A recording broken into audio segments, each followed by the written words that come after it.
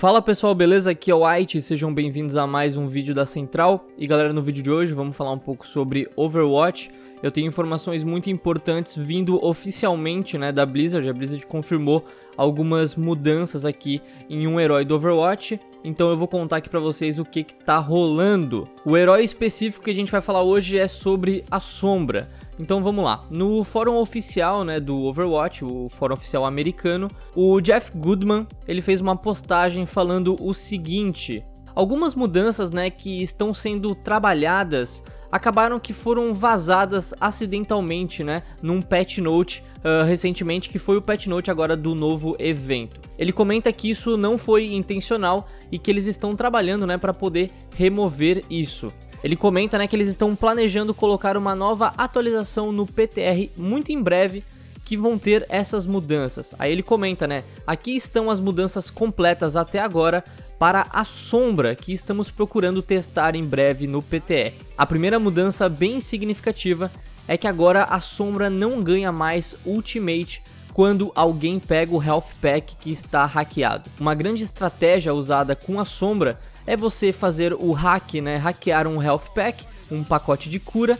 O seu time fica trabalhando em cima daquele pack, ou seja, quanto mais o seu time pegar aquela cura, mais você vai ganhar ultimate, porque você hackeou aquela cura. Então isso vai acabar. A sombra não ganha mais ultimate quando alguém pegar um pacote de cura. Isso é um grande nerf, um grande nerf mesmo, porque muito da sombra que era utilizada era por, por esse motivo, né? A sombra é um herói ofensivo, é um herói de ataque, mas ele não estava sendo usado para isso, ele estava sendo usado como um suporte. Então, tirando essa ultimate com pacote de cura, vai nerfar bastante a sombra. Outra mudança agora é que o spread, que é o, o tiro quando ele se espalha, ele vai ser diminuído em 10% na sua arma.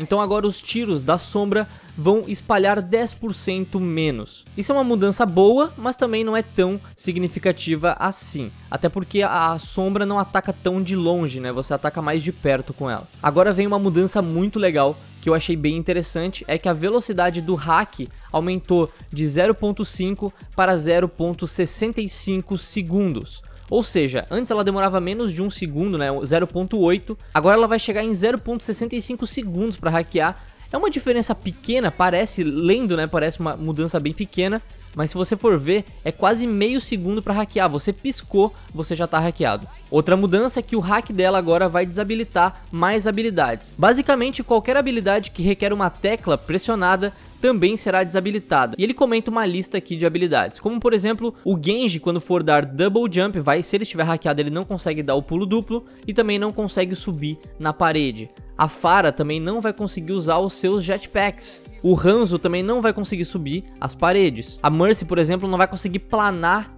no ar, né? Como ela faz. Por exemplo, ela tá voando, ela consegue segurar um botão e planar. Hackeada, ela vai cair direto pro chão. Ele termina comentando que a ideia é tirar o poder da ultimate da sombra, né? Que ela fazia muito pegando os health packs, o time trabalhava em cima do health pack, e eles querem dar mais poder e utilidade no resto, né, das suas habilidades. Então eles estão modificando tudo é uma grande mudança na sombra. Tem que esperar sair no PTR pra gente testar melhor, pra ter alguma opinião mais formada. Mas o que, que você achou? Você gostou das mudanças da sombra? Você acha que vai fazer diferença? Comenta aí e vamos debater junto nos comentários. Se você for novo aqui na Central, não esqueça de se inscrever e até o próximo vídeo. Valeu, tô indo nessa. Fui!